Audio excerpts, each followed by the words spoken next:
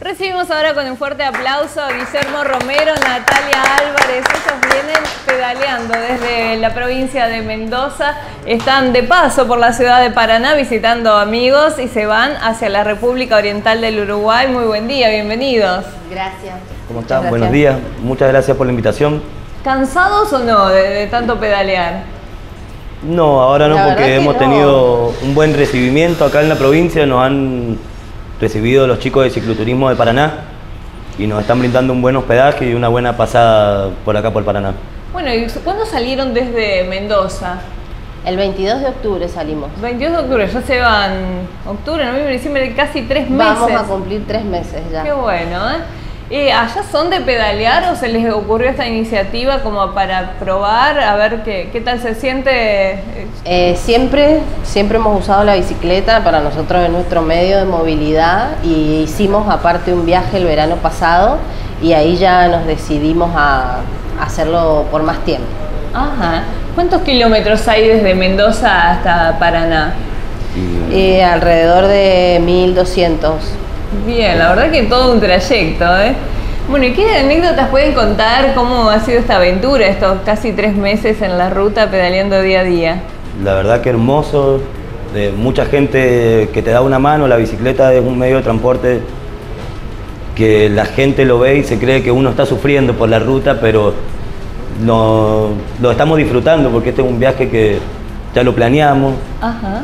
Tuvimos muchos problemas antes de salir, perdimos una bicicleta, ¿Cómo perdieron una bicicleta? nos robaron una bicicleta Uh. en Mendoza, justo íbamos a salir en septiembre, nos robaron y salimos en octubre porque tuvimos que volver a comprar otra bicicleta, todo, pero la verdad que ahora, eh, nada, no hemos tenido ningún percance más que pinchar una rueda. Bien, ¿eh? La gente muy solidaria con nosotros y agradecido, más que nada agradecido con todo. Bien, preguntarle a Guillermo, a Natalia, eh, ¿las bicicletas que utilizan tienen alguna característica especial? Por allí las vemos y, eh, digamos, tienen este, un formato grueso, ¿eh? ruedas grandes y el cuadro aparentemente parece pesado, pero este, tienen cambios, o sea que... Bien equipadas, ¿eh? Claro, todas las son resistentes como para eh, hacer viajes de larga distancia. Pero queríamos conocer si tiene algún detalle especial la bicicleta, si este, ustedes le tuvieron que hacer algún aditamento para poder transportar lo que traen o si le agregaron algún, este, alguna eh, innovación para poder hacer un viaje de esta magnitud, ¿no? 1200 kilómetros no es Eh. este, un viaje de pocos kilómetros. No, la verdad que no. Son bicicletas como ¿Comunes? comunes, mountain bike y además de las parrillas para cargar los equipaje no tienen. No tendrían más nada. No, no, tienen eh, unas buenas ruedas, unas buenas cubiertas. Y son bicicletas de Eh, aluminio, que son un poquito más livianas, ¿no es cierto? Son un poquito más livianas, pero tampoco son las más livianas. Perfecto. Hay unas más ¿Cuántos livianas. kilómetros pedalean por día? ¿Tienen por ahí estipulado un objetivo? Y hasta 100 kilómetros pedaleamos, 100, 120. El, te comentábamos que nosotros hicimos un viaje a Bariloche el año pasado en un mes. ¡Wow! Hicimos 1500, 1700 kilómetros más o menos en 30 días. Impresionante. ¿Ahí hacían Y cuánto? Pedaleamos hasta Uh, 140 kilómetros. Por la cordillera, que por ahí es otro tipo de terreno. Acá es más amable. Bueno, ahora en Paraná hemos- nos encontramos con algunas lomas. Algunas y bajar. Claro. Y con el clima, ¿cómo se las arreglan? Porque Bariloche un poquito de frío, Paraná bastante calor. ¿Cómo, cómo es esto? ¿Condiciona un poco el ritmo del pedaleo? Fuimos en pleno verano y la verdad que pasamos mucho calor. La verdad que Eh, sí. Pero al ir avanzando de a poco también es como que el cuerpo se va aclimatando más rápido. Bien. Y aparte acá hay un río hermoso que nos ha dejado refrescarnos, por suerte. Sí. Al hacer un viaje de estas características, uno eh, planifica o tiene algún, alguna planificación de contingencia, ¿no? En el caso de que se llegue a pinchar una rueda, bueno, lleva todo el equipamiento para cambiarla, lleva, eh, en el caso de no poder encontrar un hospedaje, para poder acampar al, aire libre. En fin, ¿cuáles serían este, lo que ustedes eh, decidieron llevar, digamos, para hacer frente a situaciones que se le pudieran presentar en un viaje de tantos kilómetros? Lo que llevamos es... Equipo Prim- de campamento, digamos. Ajá. carpa, eh, algo para cocinar. O sea que llevan la comida. dormir. Sí, comida, pero la comida la vamos comprando a medida Perfecto. que vamos llegando a los lugares o donde Siempre hay podemos. buenos amigos que invitan a comer en el camino, Claro, ¿no? Claro. tipo Y aparte también. sí. Herramientas sí, ¿no? Herramientas para poder cambiar la. Herramientas básicas de bicicleta, una cámara, dos cámaras, una cubierta, parche, solución. ¿Eso por cada bicicleta? O Sí, sea, dos- eh, cubierta tenemos una, es difícil eh, romper una cubierta. Ajá. Más que nosotros lo que hacemos es ruta generalmente, no, no Por lo tenemos general está limpia la ruta, claro. Claro. Claro.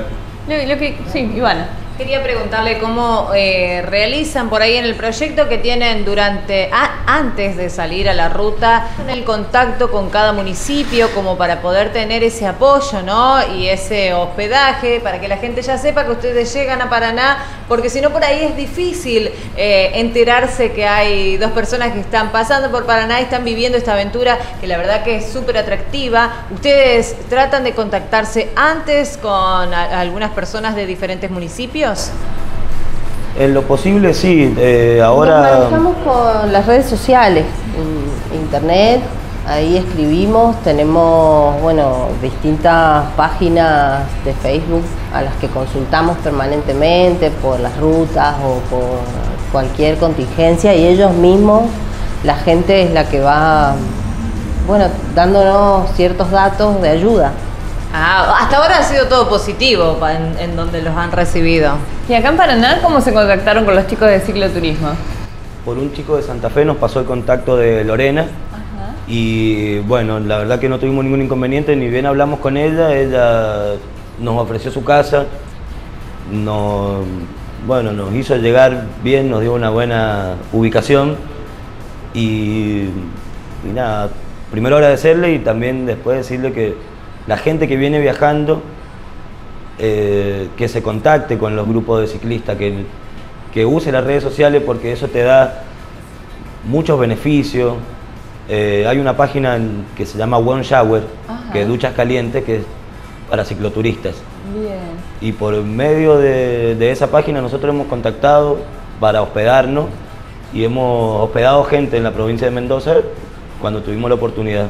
La verdad que Lorena Suárez y bueno, la gente de cicloturismo, eh, ellos también han hecho largas travesías en otros lugares y, y bueno, tienen esta experiencia, así que como anfitriones también pueden dar testimonios de, de lo que ellos han realizado. Eh, ¿De aquí para dónde van?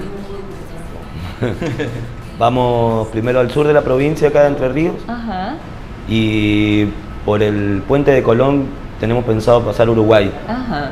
volver a la Argentina, ir hacia Iguazú y hacer la costa de Brasil.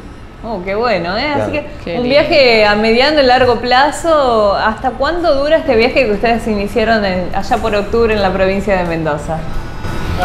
No, no tenemos una fecha definida hasta cuándo. Vamos a ir, mm, eh, a medida que vayamos viajando, lo vamos a ir bien, manejando. Tranquilos nomás. Pedaleando, tranquilos.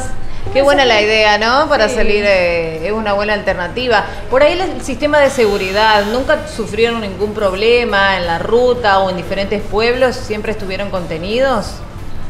Y la verdad que inseguridad no, y vuelvo a insistir, ¿no? La gente cuando te ve en bicicleta es como otro trato, hasta mm, por ahí en los lugares más alejados de la ciudad, decirlo, ¿no?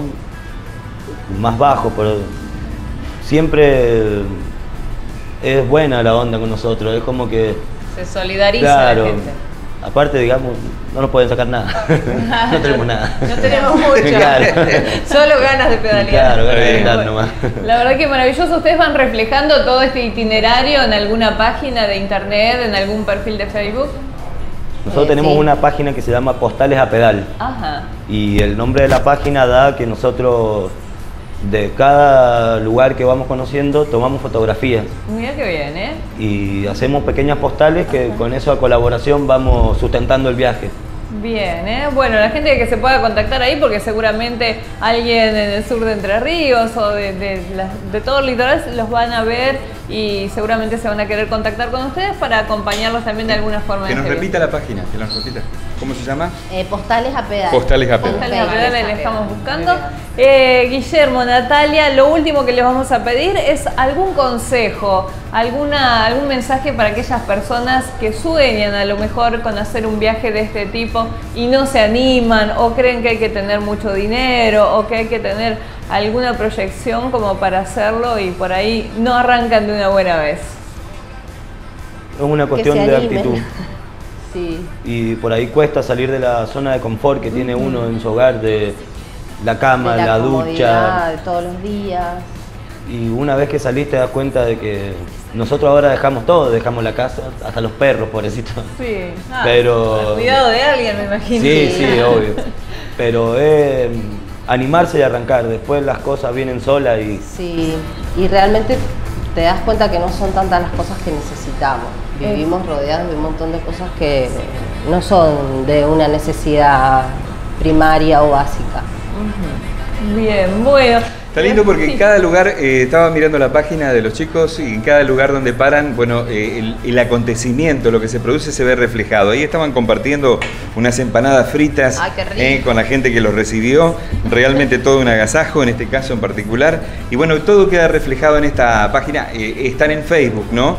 Usted los puede encontrar como, eh, como lo decíamos al principio, eh, postales a pedal. ¿eh? Esa es la dirección. Y ahí está todo colgado en Facebook para que ustedes puedan conocer el recorrido y cómo van los chicos viviendo este, su viaje y de esta manera eh, poder verlo y apreciarlo y seguirlos a través de la web, ¿no? Muchas gracias Natalia, Guillermo, les agradecemos mucho la presencia de ustedes aquí en el Explorador compartiendo esa historia, también a Marcelo y a Lore que nos han contactado como para también convidarnos con esta historia de, de- de pedaleo y de muchas aventuras y de mucho amor también por la naturaleza a través de este sistema, ¿no es cierto? Muy Sí. bueno. Muchas gracias y los despedimos con un fuerte aplauso. ¿eh?